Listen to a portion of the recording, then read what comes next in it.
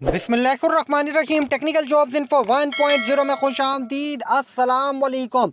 पूरे सिंध से जिन नौजवानों ने S P U R R F C M U unit में अप्लाई किया है, वो तमाम नौजवान तैयार हो जाएँ।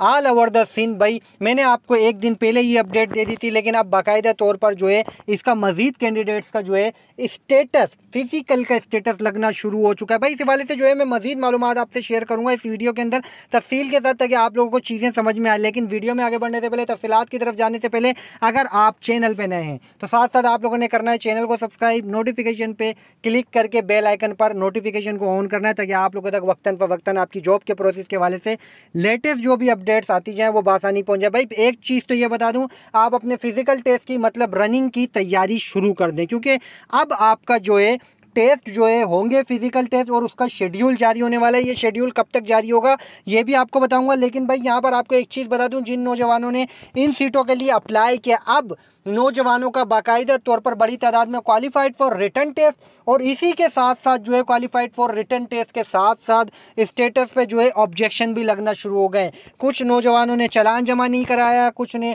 मेट्रिक की मार्कशीट क्लियर स्कैन करके अपलोड नहीं की और काफ़ी बड़ी तादाद में नौजवानों के जो है, मुख्तलिफ़ जो है ऑब्जेक्शन लगे हैं, जिस वजह से जो है, वो नौजवान परेशान हो चुके हैं। भाई, जो नौजवान परेशान है, जिनके ऑब्जेक्शन लग रहे हैं, उनको मैं अगली वीडियो में उसका हल भी बताऊँगा, ताकि आप लोगों की ये परेशानी हल हो जाए और किन की हल हो चुक, हो सकेगी, किन की हल नहीं हो सकेगी, ये भी बताऊँगा, ठीक है? लेकिन इससे पहले ये बात कर लेते हैं कि टेस्ट शेड्यूल कब तक जारी हो जाएगा। तो भाई, आपको बता दूँ, इंशाल्लाह इनशाला मंथ क्लोज होगा। नेक्स्ट मंथ तक आप लोगों के फ़िज़िकल पे मैंने बताया था बैक बैकवर्ड पे आपका काम हो रहा है, काम मुकम्मल हो गया है स्टेटस लगना शुरू हो चुके हैं। अब आपके चांसेस हैं कि अगस्त के मीडिया एंड तक में जो है आपके फ़िज़िकल के टेस्ट का जो है स्टार्ट में शेड्यूल जारी हो जाए और उसके बाद जो है आप लोगों का बाकायदा तौर पर फ़िज़िकल टेस्ट के प्रोसेस शुरू हो जाए ऑल ओवर द सीन तो जिन नौजवानों ने अप्लाई किया है, वो अपनी रनिंग की प्रैक्टिस शुरू करें, अपने चेस्ट के ऊपर, अपनी हाइट के ऊपर तवज्जो दें और अपनी जो जो आपकी फ़िज़िकल के हिसाब से खामियाँ हैं आपके अंदर, उनको क्लियर करें। अल्लाह पाक तमाम नौजवानों को जो है कामयाबी अता फरमाए। अब जो नौजवान मेहनत करेंगे, भाई वो कामयाब होंगे